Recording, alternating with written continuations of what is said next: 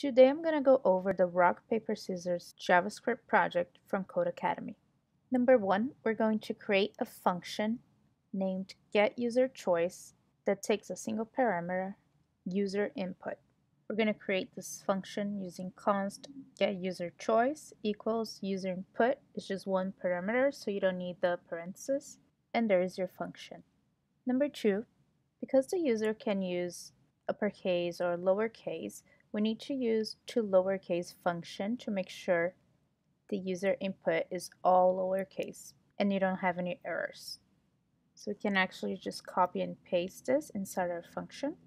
Number three, you should also check that the user make a valid choice, either rock, paper, or scissors. And if it doesn't, it should print an error message to the console. So we're going to create an if else statement. If user input is rock, paper, or scissors, return user input. Else, console log error, please type rock, paper, or scissors. Number four, we're going to test this function and see what message we get.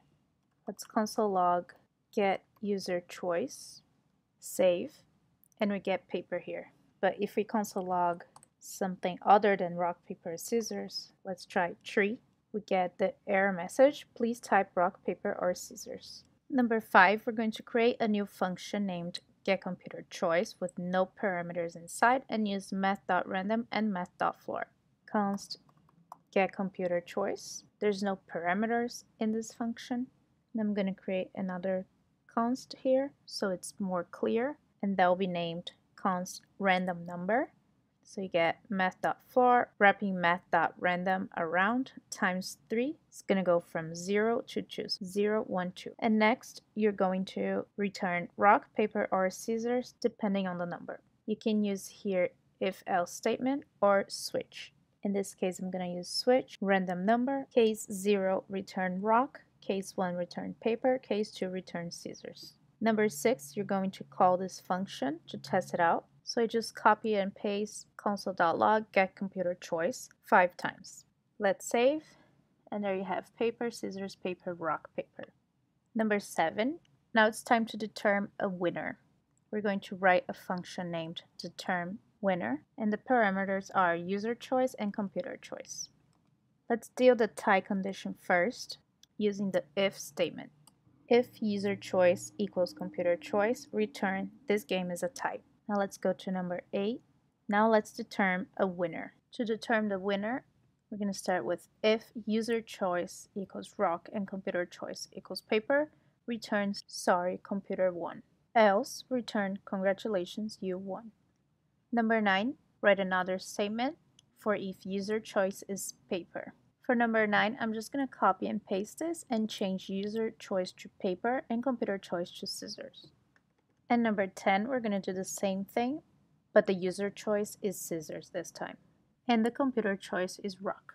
Number 11, let's test a function, console log, and you're going to call determine winner and select computer choice and user choice. So for user choice, I put rock, and computer choice, I put scissors. Congratulations, you won. Number 12, we're going to create a function named play game, and inside we're going to create a variable named user choice set equal to the result of calling get user choice passing rock, paper, or scissors. const play game and inside const user choice get user choice and select paper. Next, create another variable named computer choice and set it equal to the result of calling get computer choice. Constant computer choice, get computer choice. Now, under both of these variables, use console.log to print them to the console. Number 13, we're going to determine who won. So inside play game function, call the determine winner function, pass in the user choice and computer choice variables as its parameters. And lastly, you're going to call the function play game and see who wins. You threw paper, computer threw paper, it's a type. Let's try again. You threw paper, computer threw scissors, sorry, computer won. And last one, number 14, make this game better by adding a secret cheat code. If a user types bomb as their choice, make sure they win. In get user choice, you're going to add a fourth condition. So right after rock, paper, scissors, you're going to add user input as bomb. And in determine winner, you're going to add another if statement in the beginning. If user choice equals bomb, return you won, bomb always wins. And then here on const user choice, you're going to change to bomb and save, and there you go. You get the message that the user always wins.